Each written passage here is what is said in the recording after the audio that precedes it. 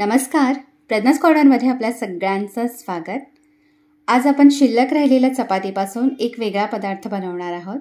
खूप छान खमंग आणि चविष्ट लागतो. याला शिल्लक राहिलेल्या चपातीचं थालीपीठ असंही म्हणू शकता. हे बघा इथे मी बनवून घेतलेत. छान सॉफ्ट झालेले आहेत. ही थालीपीठात दही किंवा लोणच्याबरोबर सर्व करायचे आहेत. खूप छान लागतात. सोपी रेसिपी आहे. चला तर मग कृतीला सुरुवात करूया. इथे मी पाच शिल्लक राहिलेल्या चपात्या घेतलेल्या आहेत. सकाळीच बनवल्या होत्या. तर संध्याकाळी मी थालीपीठं बनवते. तर चपात्यांचे असे तुकडे करून घ्यायचे आहेत. हे बघा मोठ्याशा बाऊलमध्ये मी इथे सगळ्या चपात्यांचे तुकडे करून घेतलेले आहेत. मोठेसेच तुकडे करायचे जास्त बारीक नाही करायचं. आहे आता याच्यामध्ये पाणी घालायचं आहे दोन ते तीन ग्लास पाणी घातलं आहे चपाती पूर्णपणे पाण्यामध्ये भिजतील एवढं पाणी घालायचं आहे हे बघा. आणि दहा मिनटं याच्यावरती झाकण ठेवून द्यायचं आहे हे आपल्याला दहा मिनटासाठी छान भिजावून घ्यायचं आहे पाण्यामध्ये.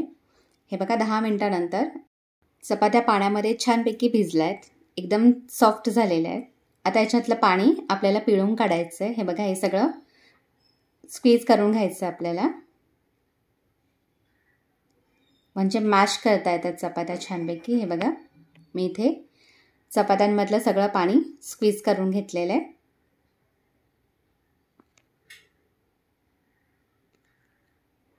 आता आपल्याला ह्या चपात्या मॅश करून घ्यायच्या आहेत. हातानेच मॅश करायच्या आहेत. हे बघा सहज होतात.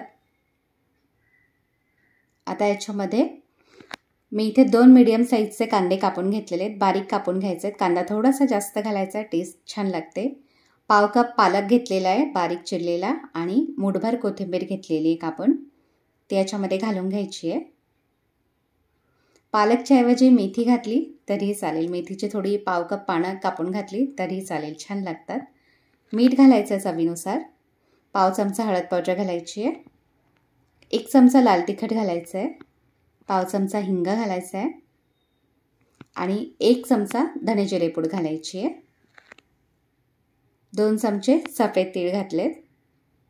अर्धा चमचा ओवा.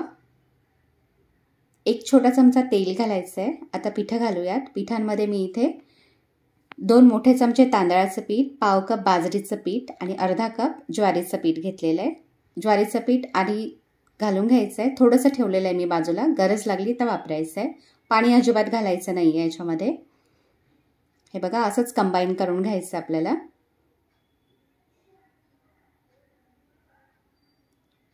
उरलेलं पीठ पण मी घालून घेते.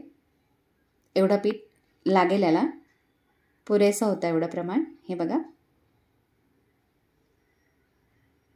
पाणी घालायचं नाही आहे ज्या आपण चपात्या सोप केल्या होत्या पाण्यामध्ये त्यातच हे भिजलं जातं व्यवस्थित. हाताला नंतर थोडंसं तेल लावायचं आहे आणि पिठाला चोळून घ्यायचं आहे आणि लगेचच आपण याची थालीपीठ बनवायला घेणार आहोत. कांदा घातला आहे त्यामुळे नंतर पीठ पातळ होतं. त्यामुळे लगेचच थालीपीठ बनवायला घ्यायचे आहे. तर इथे मी पोळपाट घेतलेला आहे. पोळपाट थोडासा ओला करून घ्यायचा आहे. पाणी थोडंसं स्प्रिंकल करून घ्यायचं आहे त्याच्यावरती. कॉटनचा रुमाल पण ओला करून घेतलेला आहे. त्याच्यावरती पण थोडंसं पाणी शिंपडायचं आहे. आता आपल्याला ज्या साईजचे थालीपीठ बनवायचे त्यानुसार पिठाचा गोळा घ्यायचा आहे. आणि हाताला थोडंसं पाणी लावून थालीपीठ थापून घ्यायचे म्हणजे थालीपीठ थापताना चिकटत नाहीत हाताला. हे बघा. थोडं थोडं पाणी लावायचं हाताला आणि थालीपीठ व्यवस्थित थापायचे. तळ हाताच्या साह्याने शक्यतो थापून घ्यायचे म्हणजे आपली बोटं उठत नाहीत त्याच्यावरती. इथे मी थालीपीठ थापून घेतलेलं आहे. एका साईडला तवा गरम करत ठेवलेला आहे. आता याला थोडंसं तेल लावून घ्यायचं आहे. तूप लावलं तरीही चालेल. मी थोडंसं तेल लावून घेतलं आहे आता त्याच्यावरती थालीपीठ घालून घ्यायचं आहे. वरनं थोडंसं तेल सोडायचं आहे.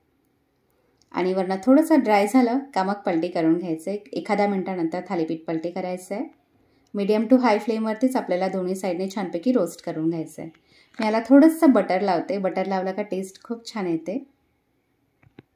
तर अगदी पाव चमचा मी दोन्ही साईडने बटर लावून घेते. बटरच्या ऐवजी तूप वापरलं तरीही चालेल. आणि दोन्ही साईडने छानपैकी भाजून घ्यायचे. हे बघा. जास्त वेळ लागत नाही. अगदी तीन चार मिनटामध्ये थालीपीठ भाजून होतं. याच प्रकारे बाकीचे थालीपीठ पण बनवून घ्यायचे आहेत. हे बघा इथे मी सगळे थालीपीठ बनवून घेतलेले आहेत. तर एकदम सोप्पा शिल्लक राहिलेला चपातीचा हेल्दी आणि टेस्टी असा नाश्ता आहे. नक्की करून पहा.